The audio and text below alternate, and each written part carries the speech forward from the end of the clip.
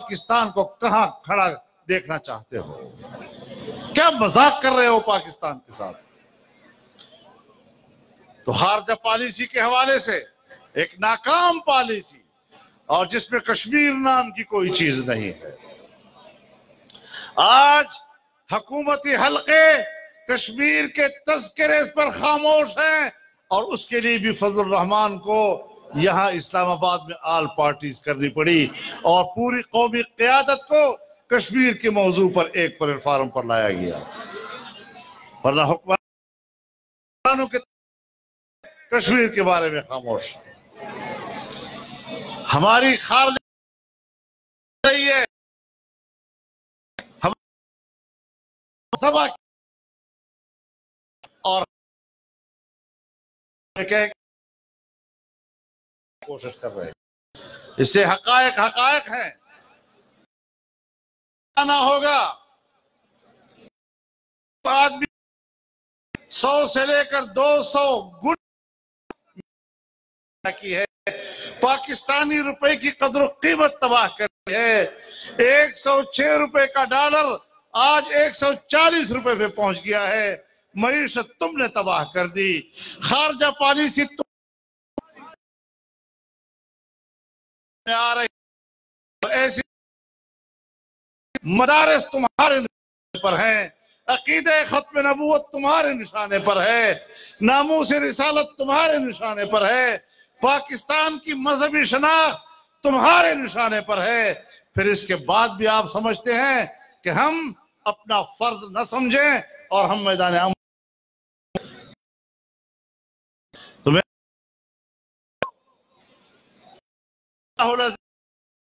یہ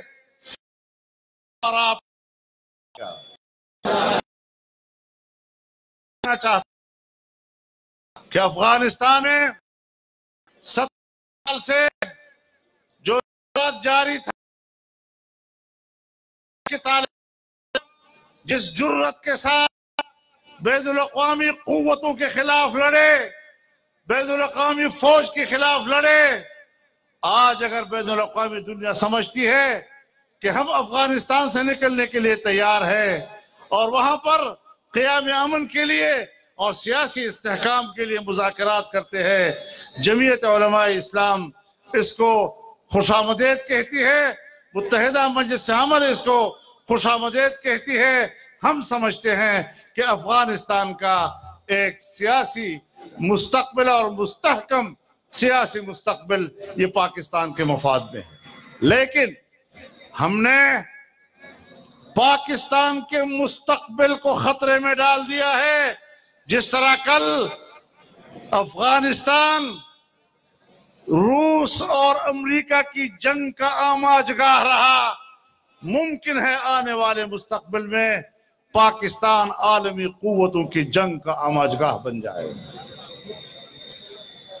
اور ایسے نہ اہل لوگ اگر ملک کے حکمران ہوئے تو پھر پاکستان کا مستقبل محفوظ نہیں رہ سکے گا۔ اس لیے ضروری ہے کہ ایسے حکمرانوں کا خاتمہ کیا جائے۔ ایسے لوگوں کو موقع دینا، یہ جعلی مینڈیٹ کو تسلیم کرنا۔ ہے ہم جعلی مینڈیٹ کو تسلیم نہیں کرتے۔ ہم نے پہلے بھی جعلی مینڈیٹ کو تسلیم نہیں کیا۔ ستتر کی تحریک قوم کو یاد ہے اور ہم آج بھی کسی قسم کی جعلی حکومت کو قبول کرنے کے لیے تیار نہیں اب ہم نہ برداشت کریں گے اور نہ قبول کریں گے۔ تو یہ جنگ جاری رہے گی انشاءاللہ۔ انشاءاللہ۔ تاسو به تیار یې کنه کدا خبره په مخ له بیا وسنګ کو زوبه کنه بازو او خپ مړانه باندې بازو او د جهاد په نیت باندې بازو د قربانۍ په جذبه باندې بازو او ان شاء الله العزيز زمون بده نه پس پړاو په سند کې وی د بدین په علاقه کې او بیا با د نصر آباد ډیویژن په بلوچستان کې وی او هغه نه باب د ملګرو په مشورې باندې په مخ باندې فیصله کو اردو میں محمد سلمان کے ہمارے مہمان محترم کے امیر محمد پاکستان تشریف لائے ہیں۔ ہم ان کو خیر مقدم کہتے ہیں۔ وہ پاکستان کے مہمان ہیں۔ وہ پاکستان کے عوام کے مہمان ہیں۔ اور تعاون کا جذبہ پاکستان کی مدد کرنا ہے۔ ایسے دوست، ایسے وقت میں دوستوں کے کام آتے ہیں۔ ہم ان کے شکر گزار بھی ہیں، لیکن یہ بات واضح کر دینا چاہتے ہیں۔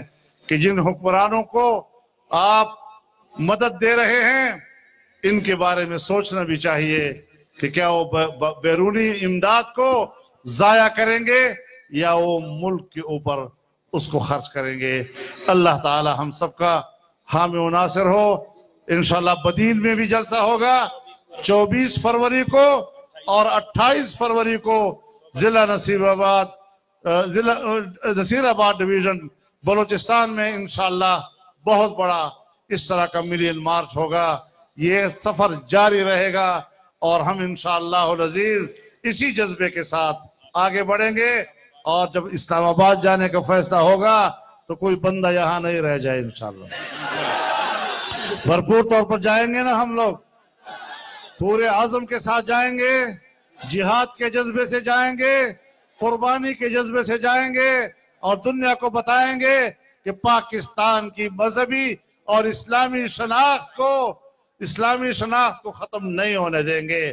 اور جب آپ اسلام آباد جائیں گے تو پھر حکمرانوں کو بھاگتے دیکھیں گے۔ قل جاء الحق وزہق الباطل ان الباطل کان زہوقا صدق اللہ العظیم۔ السلام علیکم۔